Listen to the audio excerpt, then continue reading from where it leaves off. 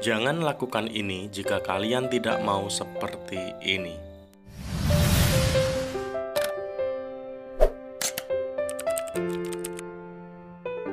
Halo kawan-kawan, ketemu lagi dengan saya Uren Channel dan di video kali ini saya akan berbagi pengalaman tentang saya bermain Facebook Adibrix ya. Sekarang saya memiliki fanspage yang terkena monetisasi terbatas ya. Dan monetisasi terbatasnya pelanggaran terbarunya di sini bisa kita lihat interaksi tidak otentik. E, kenapa fanspage saya terkena interaksi tidak otentik? Kemungkinan besar Dulu itu saya pernah membagikan video saya ke halaman saya sendiri dan juga ke grup-grup Facebook ya. Dan itu mungkin membuat pihak Facebook membaca kalau yang aktivitas yang saya lakukan itu udah adalah aktivitas spam ya yang tidak asli ya. Dan bagaimana cara kita mengatasinya? Kita bisa melakukan banding. Namun banding itu tidak akan menyelesaikan masalah ya. Mungkin ada sebagian yang mengajukan banding lalu pelanggaran terbarunya ini akan hilang ataupun bisa menjadi fitur monetisasinya warnanya kuning ya dan kalau saya menurut saya sebaiknya nggak usah mengajukan banding toh kita menunggu 90 hari pasti akan pulih ini pelanggaran terbaru ini. E, bisa kita lihat di insignia pendapatan saya. Di bulan November September maksud saya. Di bulan September saya dulu sudah pernah termonetisasi ya.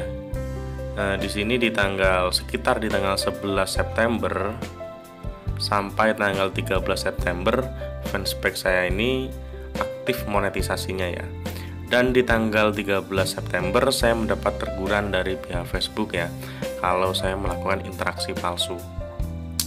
E, jadi yang dimaksud interaksi palsu itu interaksi yang bagaimana sih? E, saya mencari referensi ya, referensi dari channel YouTube orang, terus referensi dari teman-teman saya bermain Facebook Adibris. Yang dimaksud interaksi palsu itu yang pertama ya kita terlalu banyak membagikan link video kita. Yang kedua, kita membalas komentar ataupun kita menyukai komentar di video kita sendiri ya. Dan yang ketiga, kita menonton video kita sendiri. Jadi di situ kita pasti akan terkena pelanggaran interaksi tidak otentik. Jadi buat kawan-kawan, berhati-hatilah ketika fanspage kalian sekarang masih aktif monetis ya. Jangan sekali-kali kalian menonton video kalian, membagikan video kalian terlalu banyak ke grup ataupun ke halaman kalian sendiri ya. Dan juga yang poin terpentingnya kalian jangan membalas ataupun menyukai komentar orang-orang yang ada di video kalian pasti ya nanti bakalan kalian terkena interaksi tidak otentik seperti ini. Jadi kita coba pelajari ya interaksi tidak otentik itu interaksi yang bagaimana menurut Facebook. Di sini langsung aja kita lihat detail. Uh, interaksi tidak otentik ya pelajari selengkapnya nah sekarang kita baca poin yang agak penting yang bagian paling atas sendiri agar penerbit dan kreator bisa menghasilkan uang dari konten Facebook mereka harus mematuhi serangkaian aturan yang disebut kebijakan monetisasi partner. Aturan ini berlaku untuk perilaku. Nah, ini perilaku ini berarti interaksi ya. Halaman dan pembayaran. Ada serangkaian kebijakan terpisah yang secara khusus membahas konten yang dimonetisasi. Kebijakan monetisasi konten ini bisa dipelajari di bagian pelajari selengkapnya di bawah ini. Langsung aja kebijakan partner. Eh, kita tadi kan mau bahas yang monetisasi interaksi tidak otentik ya.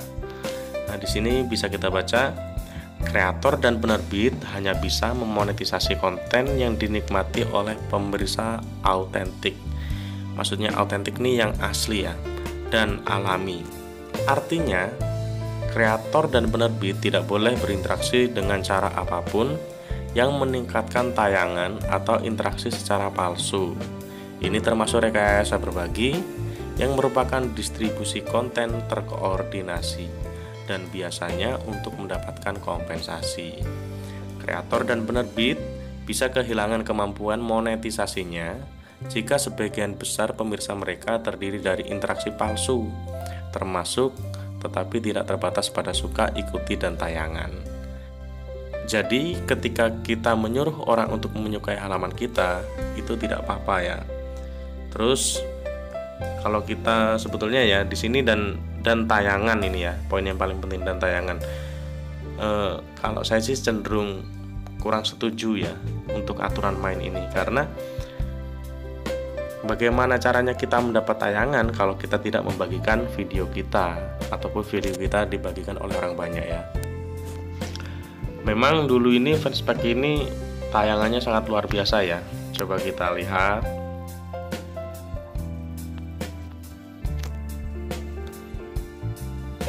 Sekarang kita masuk di insik ini.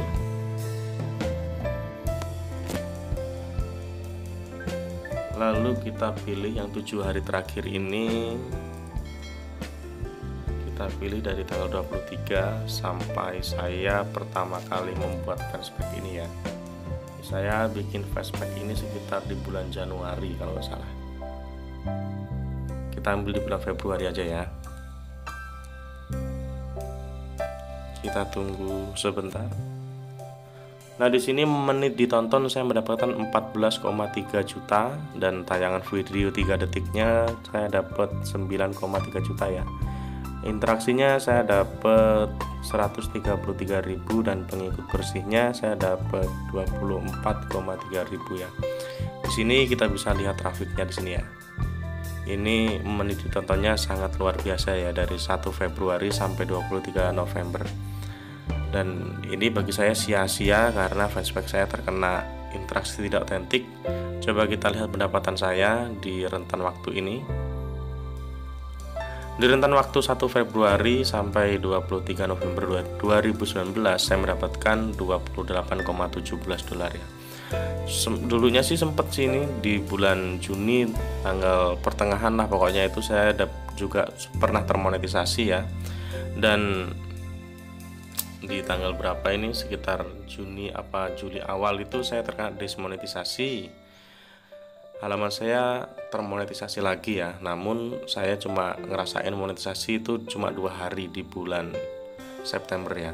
Dan sekarang halaman saya masih terkena pelanggaran ya.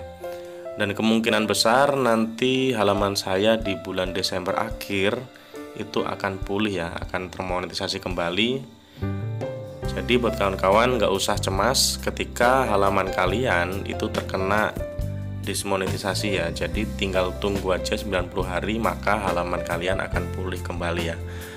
E, bisa aja sih kita mengajukan banding tapi kalau saran saya nggak usah sih. Soalnya saya pernah beberapa beberapa kali mengajukan banding dan balasan dari Facebook cuma itu itu aja ya. Coba kita lihat pas saya mengajukan banding ya ini Facebook saya. Langsung kita klik di sini bantuan atau dukungan. Di sini kotak masuk dukungan ya. Uh, hari Senin tanggal berapa ini? Hari Senin kemarin lah pokoknya. Saya ngajuin banding ya. Di sini ya.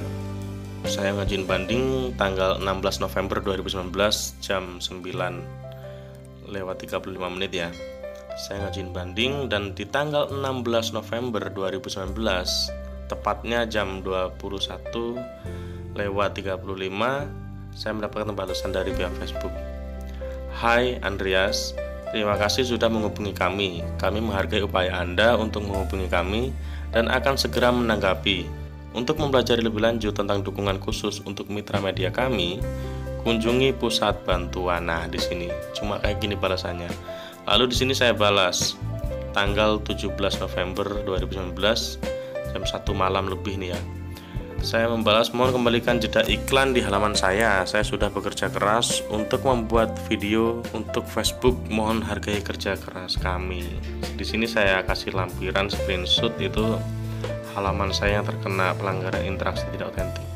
Dan di hari Senin tanggal 18 November itu saya didapat balasan lagi dari pihak Facebook.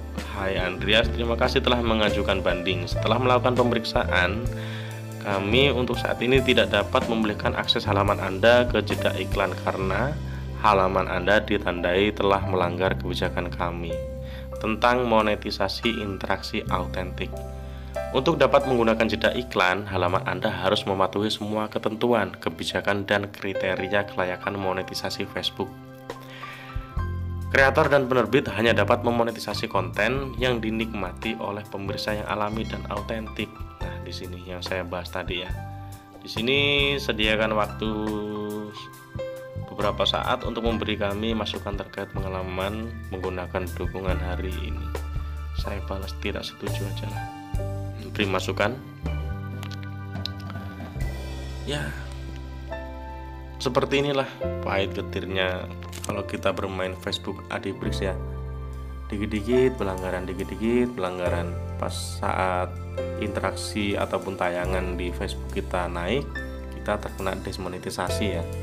Tapi saya punya halaman tuh yang uh, interaksinya tuh normal-normal aja. Di situ halaman saya masih aman sampai saat ini dan sekarang masih termonetisasi walaupun dolarnya tuh sehari cuma dapat 0,1 0,2 ya pokoknya kita syukurin aja lah dapatnya berapa berapa jadi buat kawan-kawan jangan sampai lakukan hal seperti saya apabila kawan-kawan tidak mau terkena pelanggaran interaksi yang tidak autentik ataupun eh, pelanggaran-pelanggaran yang lainnya. Apabila kalian kurang paham, kalian bisa DM ke IG saya Linknya ada di bawah. Saya Uren Channel. Sampai ketemu lagi di video selanjutnya. Bye.